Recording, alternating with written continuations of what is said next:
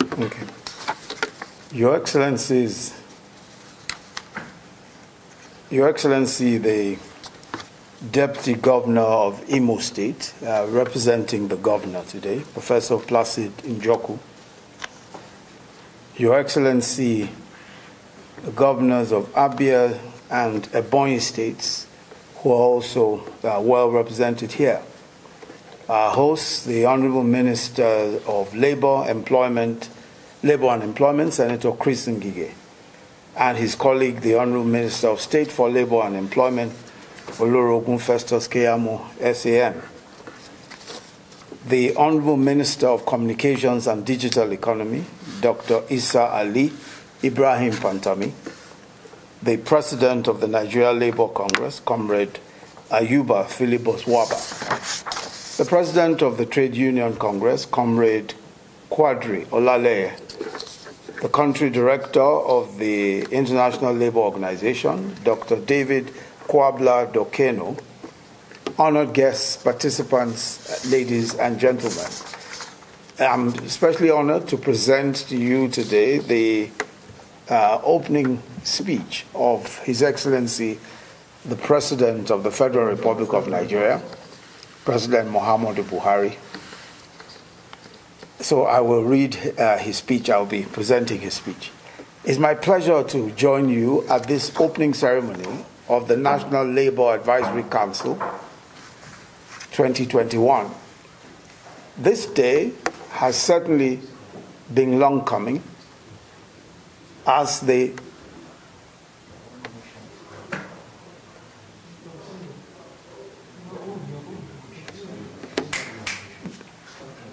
This day has been long coming as the NALAC has been dormant for the past seven years.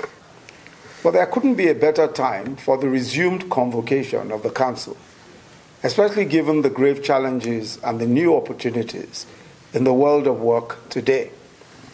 I note that the NLAC has its roots in the 1976 International Labour Organization ILO Convention number 144 on tripartite consultation international labor standards, which has been designated as a governance priority convention due to its importance to the functioning of the international labor standard system that provides benchmarks for, for best practices in labor and related matters.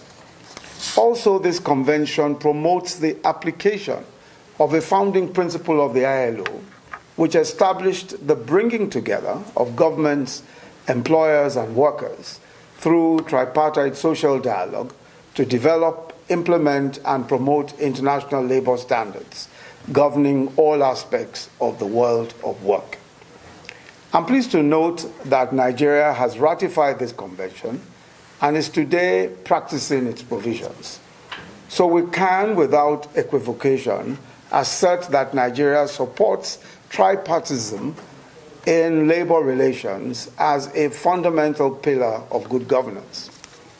The benefits of the NLAC are enormous. First, they provide a chance for the tripartite actors to take advantage of the culture of dialogue promoted by the Council in the world of work and use the Council to strengthen the span of workplace cooperation and entrench social peace. Perhaps this could reduce strikes as the default mode in trade disputes. Strikes have proved to be disruptive and notably dangerous, especially on account of the fragility of our economies in the wake of the COVID 19 fallout. Besides, strikes inflict an adverse spiral effect on job retention and creation, all of which we simply cannot afford at this time. Also, by its structure and mode of operations, the Council compels informed decisions based on social on consultation, which is anchored in cooperation between trade unions, governments, and employers in public policy making. Clearly, such a process will lead to an end result that would meet less resistance from stakeholders in implementation. The Council also represents a platform for genuine consultations about international labor standards and several other issues, many of which are areas of divergence that lead to trade disputes. I'm proud of Nigeria's standing at the ILO and her adoption of all the eight core fundamental conventions, two of the four governance priority conventions, and 30 technical conventions. I encourage you, as a unified body, to use this medium to advance the 2030 Sustainable Goals Agenda, particularly Goals 1, 5, 8, 10, and 16, with their relevant subsumed targets, as well as Agenda 2063 of the Africa Union. I also strongly believe that the composition of the Council presents a unique opportunity to build trust and to find common cause in the labor and ancillary matters in labor and ancillary matters for the good of the nation. This tripartite constituency should also ensure that the nation complies with the provisions of Article 19 and 22 of the ILO, of the ILO Constitution, on reporting by member states to ensure that the problem of report arrears do not become a recurring issue before the ILO. I also want to thank the social partners immensely for their cooperation, especially as the fallouts of the pandemic devastated our economy in 2020. The incidence of retrenchments and declaration of redundancy was, was not as much as was initially feared, and workers also showed understanding in the demands that they made. Our government has always been, and we remain resolutely committed to the welfare of workers. Indeed, one of our first actions in office was a massive bailout to states, the majority of which were owing workers salaries, in many cases, for between 6 and 12 months. As federal government, we ensured that despite two cycles of recessions in six years and severely dwindled national resources, no jobs were lost for this reason. Indeed, we not only implemented a new national minimum wage, but we also last year put forward legislation that was passed by the National Assembly that ensured that minimum wage earners would, would pay no income tax. As most are aware, we established the largest social investment program in sub Saharan Africa, and we have since expanded many of its component programs, including the conditional cash transfers for the poor from 2.6 million